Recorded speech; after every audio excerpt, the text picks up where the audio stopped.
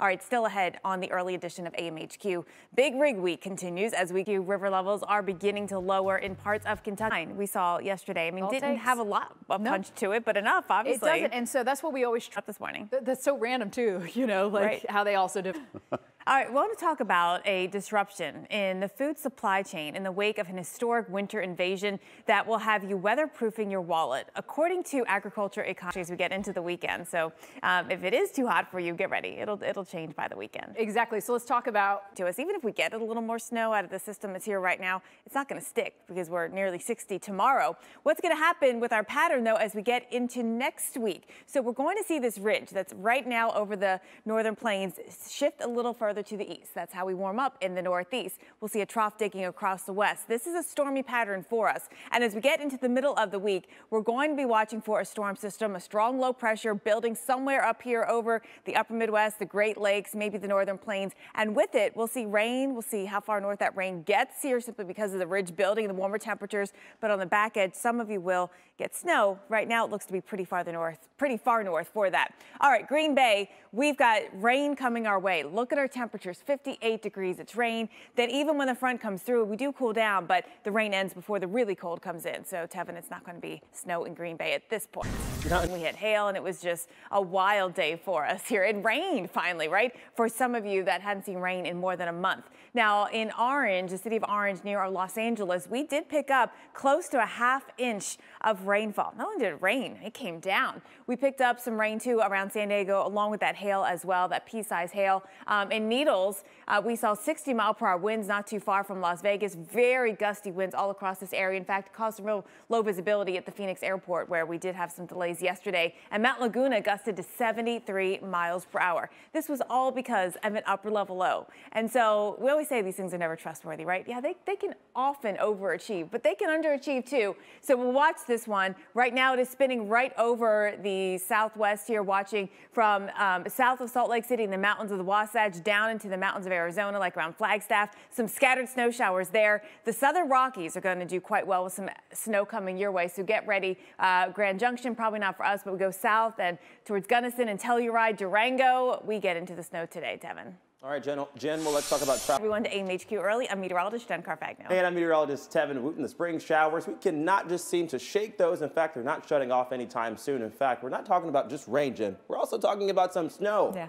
It's 30. We had the snow, the sleet, um, the ice. We had so much right here, but didn't add up that much. So we are running behind a little bit. We'll make that up a little bit tomorrow with some rain showers, getting temperatures um, only in the 60s. We drop to the 40s, back to the 60s. These days are going to feel so different. Friday, rainy, kind of raw, actually, the upper level low, the reason why it's raining um, coming on through. But then Saturday in the mid 60s and the sun is back out again. So luckily, this is a pretty quick moving system. We're not going to be stuck in this for days and days. Showers do move right along along the northern Gulf Coast as we get into Friday night. So from New Orleans to Mobile to Pensacola. I know this is spring break season kicking off. So for anyone heading south, you'll see Saturday showers out here. Looks like Destin starting to clear out. Still some showers around Panama City. But from Tampa down through Naples, um, Sanibel and Captiva, we've got some showers around here on Saturday if you're planning to do any shell collecting. Looks like actually Sunday will be the better day because we'll get these showers out of here by Sunday. Look at Orlando. This is a good example of what's happening in Florida as as we get in, into this weekend. Saturday and Saturday night do look kind of crummy. We've got rain showers. Temperatures a lot cooler, mid 60s, especially compared to where we've been. This is a big deal. But by Sunday, the sun is back out. A really nice day, 68 and sunny, Tevin. All right, sounds like a perfect. Some slick spots. We still have snow coming down across this area. and we, we will for, you know, all March. It still snows in April here. Snowing in Buffalo right now, snowing in Syracuse right now. We've actually had a few more hours of snow in Syracuse than we have in Buffalo. Temperatures are below freezing. In fact, we're in the 20s in Syracuse. So watching for travel right along the New York State Thruway to be a little slick in spots and may not be the Thruway because I know it's well treated, right? But getting there is where you're going to run into some of the problems. Then we take you out here back parts of the Great Lakes. Um, we're doing fine for now here. We'll have to watch things as we get into next week, but for now, no major issues for you. Now we also watch for airport delays. The wind has been a factor for us, a lot of the major hubs, but for Syracuse, it is the snow and the lining up for de-icing and all those departure delays that come with it. With it, Tevin. All right, Gina Indoor farms come in all shapes and sizes. Some stack crops vertically, others spread out across vast greenhouses. But no matter how you grow it, these indoor farms are harvesting fresh produce and big investments. Our partners at Pattern have the story. At this next weather system next week. The, the, models have been different every day on exactly what they're doing with it, but showing signs of a pattern change. So we have a ridge that's going to start building east, a trough in the west. This is a stormy pattern for us here. And so we're going to see an area of low pressure form somewhere and then track up through the Great Lakes. As it does, it'll bring some rain. We'll see how far south the cold air gets. Where do we get the snowfall? Probably a lot of wind with it as well. Are expecting a decently strong low pressure. Chicago, look, case in point, we've got a windy forecast for you on Wednesday with rain coming in, temperatures in the 60s. Then we look at the front coming through, and we do drop. Friday's highs only in the 40s, and still rain showers are going to be around, but not cold enough to get into any snow with that precip in place. Nashville, it is just rain. Rain comes in on Thursday and Friday of next week as we see uh, the temperatures continuing to uh, watch for um, upper 60s yeah, above average temperatures for you here. Again, it's because of that ridge that is building.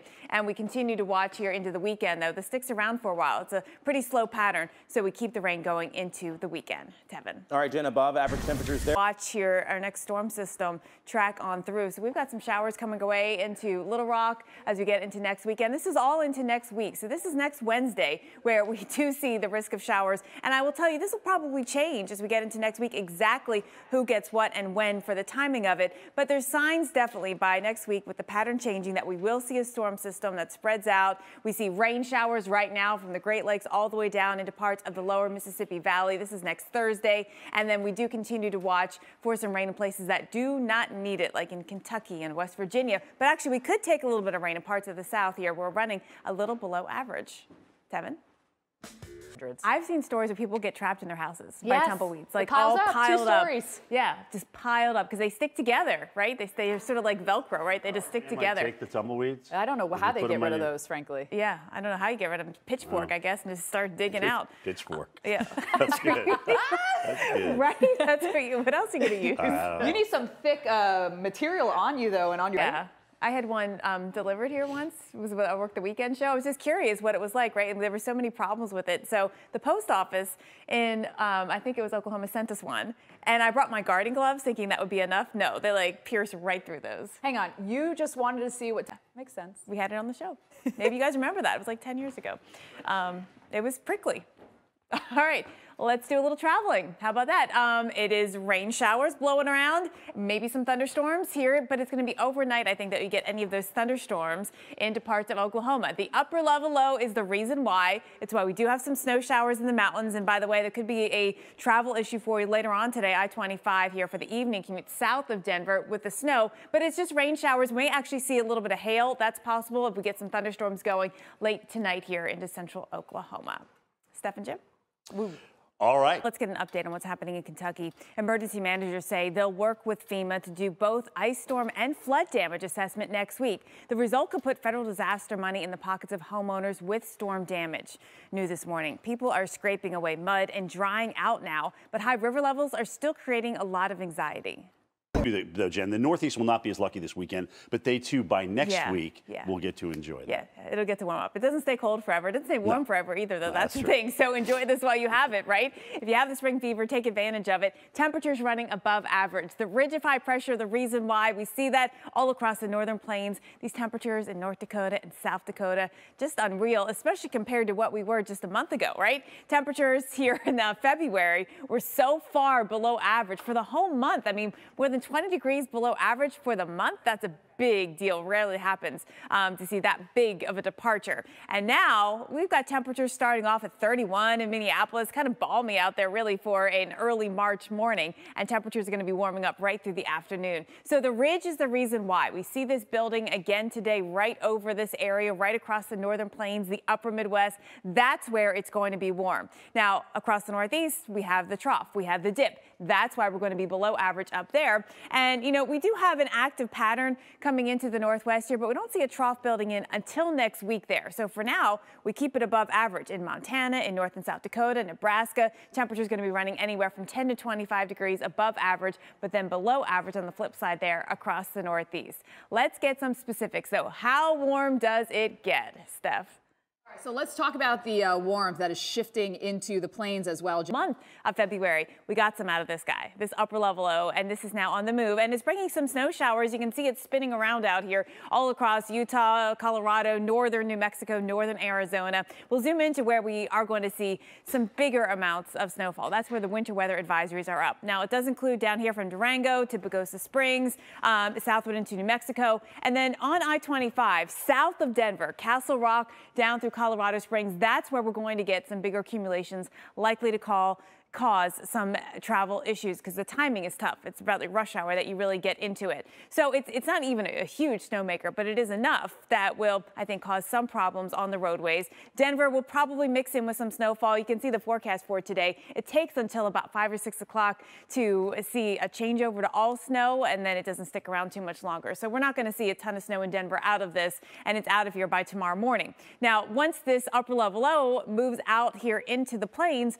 we've got the chance chance for some thunderstorms. This happens mainly overnight tonight, more than today, with possible hail as the main risk. We saw that hail in San Diego yesterday. Same upper level low on the move, so we'll have to watch out for that. A couple of showers will pop today in the Texas Panhandle, the northern part of it, very dry actually to the south. And then this is 11, 12 o'clock. You saw maybe a couple of these cells could produce some hail right here north of Oklahoma City. But again, not a big major. Uh, yeah. I'm just tearing up. Yeah. She goes, "What is so? What are you crying for?" I'm like, "It's the pollen." It's the pollen. I'm not crying. It's actually yeah. the pollen. So it's it's it's coming out in full force yeah. uh, and making its way onto the north and through here. Highest concentrations uh, probably oak down yeah. in this part of the world. I had wondered right what would here. happen in Texas, you know, with the freeze and the snow Good and everything question. else. And you know, Steph sent out a story about the bluebonnets might be a bit late this year because of all that. But in trees, what we're dealing with now is tree pollen, and they seem to be doing just fine. Yeah, but the snow kind of protects. You know, it, yeah. the good news is we got snow with that cold, so yeah. it protects a lot of the vegetation. That's true, kind of like a blanket. Uh, but we still have phenomenal agricultural losses, by the way. That's another story. Anyway, forecast today: Atlanta 70, uh, so we're right back up into it. Little Rock 70 as well, so a, a little bit nicer than yesterday, but still air's dry enough. Yeah. So yeah. in the shade, yeah. it's still got a little crisp. There's actually a red flag warning in Atlanta uh, today. The thing oh, wow. is, though, it's this is dry. like the perfect cocktail for these plants, right? A little bit of rain comes on through, and then the sun is back out again. Right. So, I mean, they're just growing like crazy. So Saturday's our wet day, but also cold day. Rain in the 50s in Jacksonville is no fun, I'm sure. Uh, and, and, and, even on Sunday and Monday, it's going to be chilly here. Yeah. Yankees had a night game last night, and they were they were chilly last night when the sun goes down. There's not a lot of rain though. The southeastern states, some of the spots no. actually that could use no. it. We've been a little below average here, so this maybe that'll keep our follow. growing at bay. this will be interesting to follow as we get into spring. Yeah. Yeah. Uh, especially if we start getting into drought and things like that. So something to watch across the south. Speaking of spring, it is around the corner. Every day, I'm always like, since there's a speck of dirt, I'm like vacuum it up, keep it clean. No cheese puffs. Um, yeah, no, no cheese puffs. To my niece and nephews, no cheese puffs. this has happened this week, so that's why I'm saying it. All right, um, I want to talk about the Great Lakes. Watch this sheet of ice crumble into pieces. Do you see this?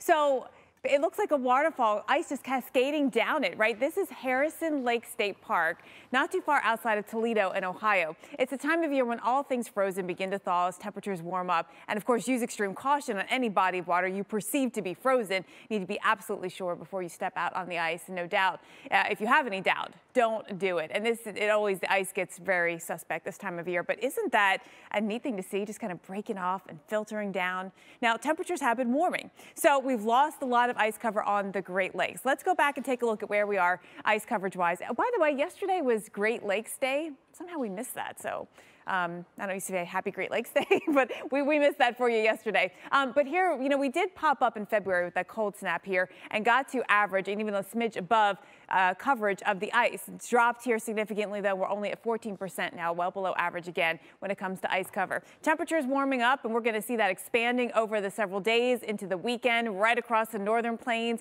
into the upper Midwest, above average. A lot of 50s and even some 60s. And we've been warm. I mean, right? We've been warm the past couple of days, especially across the northern tier. That air will be moving over the lakes as we get into next week. For now, we've been running a little below average, especially across the eastern lakes. But like Lake Superior, we've been warm, and we're going to see that continuing as we get into your weekend. Watching these temperatures go up here into Minneapolis, close to 60. Bismarck, we will be in the 60s, and Chicago warming up here as well. Temperatures hitting 52 degrees here. That's above average for us in Chicago. So going above average into the weekend, especially across the northern plains. You see how that now shifts as we get into Sunday, starting to warm up a little more into Wisconsin. So in terms of snow coverage across this area, um, yeah, we still have snow cover, snowpack out here, but it's going to keep shrinking. Watch this as we get all the way into next week, especially, and we get those warming temperatures.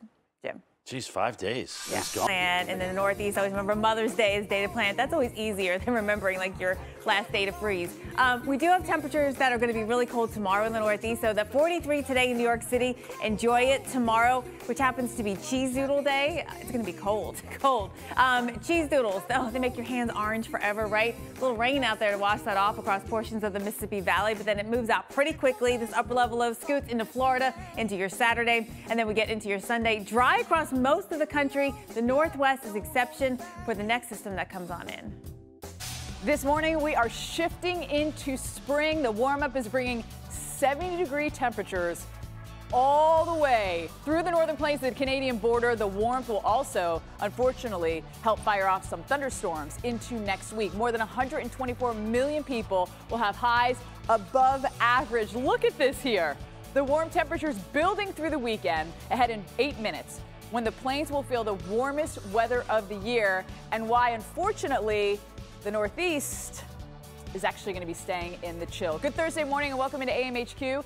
I'm meteorologist Stephanie Abrams alongside meteorologist Jim Cantore and Jen Carfagno as we help you to get trucking through the work week. Speaking of trucks, first of all, it's big rig week here on the Weather Channel. A little later, a familiar voice will join us. But first, we're going to put our foot to the gas pedal here and talk about a coast to coast system that will rain on your weekend plans along the Gulf Coast and Florida. Started here Wednesday in California. It did bring showers and actually a little bit of hail as well. We saw pea size hail in San Diego. And the rain enough for the Golden State to cause some flooding. It's been really dry there. And San Diego actually picked up 0.58 inches of rain. And I looked it up. That's a third of what they get for the entire month on average. So that is going to cause some flooding. There were reports of standing water on I-15 and uh, I-8.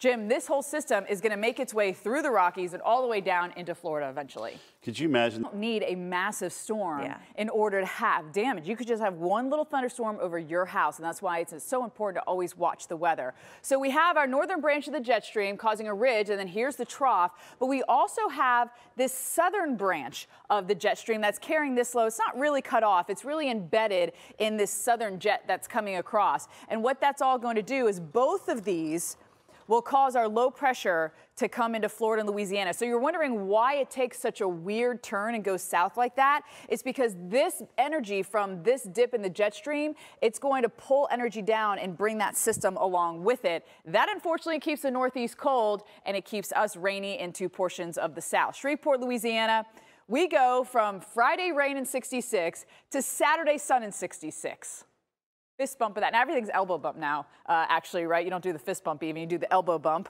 Um, but here's our low pressure. And you would think most of them kind of go up into the northeast, but because of the trough here, this energy is going to get forced down into the I-10 corridor from New Orleans to Apalachicola to Jacksonville. And as we take you a closer look into New Orleans, we also get the beautiful Saturday headed our way here after we get through some of that rain. But it does linger, unfortunately, for some of us into Florida, Jen. Yeah, for sure. At our temperatures right now into the northern plains in the 20s and 30s. And that's really not terrible for this area, right? Especially this time of year. But we are going to see that warmth. Places like Wichita, 54 is our average high. We're going to be at 70. We're almost 20 degrees above average into Wichita. Still some cooler air. Look at the winds, too. North wind, that brings in your cooler temperatures, while we get a southerly wind, and that's going to bring up your warmer temperatures. Quite a difference there, quite a shift in what we are seeing underneath these two uh, weather makers. So as we head into tomorrow, Chicago, we warm up. Notice the wind shift a little bit there, and then we stay about average for our Friday. Into our Saturday, you see the 60s. We're going to be above average all the way up into the Canadian border because we have a big ridge in place, and that ridge allows southerly flow. Sunshine, too. Keep that in mind. Sunshine as well. Into our Saturday, we're talking 25 degrees above average. Get the bathing suits, get the slip and slides, get your little blow up pools, whatever you need here, because it's going to be hot for some of you. Seeing in Omaha, our average high is 45, and we're going to be at 70 in the sunshine, Cantore. That is significant. There was, I don't know anyone who takes out a blow up pool, but that's the way it is all the time. yeah, that is right, exactly. All right, so let's talk about this upper level low. And it is spinning counterclockwise. You see it right there, bringing some snow in and around the uh, Great Salt Lake, the Four Corners getting in on the action as well. And this is going to be pushing east and then south. So if you're traveling here, 25, 70, it's going to be a wet one for today. Now, it's not going to be excessive snowfall, which you have to be a lot more careful in because usually when it's just light, everyone just continues business as usual, and then you run into more problems because it's pretty slippery out there. Guys? Yeah. All right, so sunny skies, rain. And so is the pollen. And for many allergy sufferers, it's going to be rough. Our partners at Pattern show us why you'll want to invest in allergy remedies now. Try to tell you is you don't need a massive storm system, you know, that will cause a derecho or a hurricane or severe weather or tornado outbreak you could have one cell over your house. And so you really always have to pay attention to what's happening in the weather. And if you live in Florida, if you live in Louisiana, you need to pay attention to the system Jim was talking about here over the four corners because this low is going to be riding south with this southern jet. But also, this trough here in this jet is going to be pulling that energy south as well. And so that's why it's taking this bit of a funky path for a low pressure as it gets pushed down. And you see it'll be absorbed with that energy to the north. So let's have a look at some of our spots here. Shreveport, I mean, it's pretty good timing for us. Can you beat 66 and sunny on a Saturday in March? This is why we live in this. Enjoy it before all the humidity and the heat comes back. There's your rain. It's not going to be a lot, but notice how everything dives down here along the I-10 corridor Friday night. Sadly, it is going to be staying into Florida as we head into our Saturday, but spots like New Orleans, we are going to clear out and cool off. Notice that cooler air. We go from 72 to 66, so there will be a drop, but Saturday, Saturday night, it is going to be lingering into the not so sunshine state, Jen. That's for sure, at least for Saturday. Yeah.